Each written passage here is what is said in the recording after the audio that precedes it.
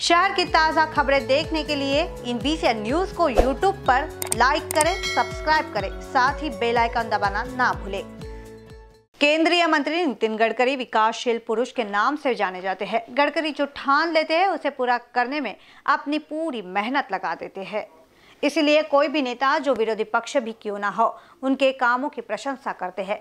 नितिन गडकरी नागपुर के नेता है, इसीलिए उन्होंने नागपुर विकास के लिए एक सपना देखा। ये पूरा करने के लिए वे मेहनत भी कर रहे हैं। मगर उन्होंने अपने विकास का विजन अपने घर पर पेंटिंग के रूप में सजा रखा है, नितिन गडकरी के नजरे से नागपुर।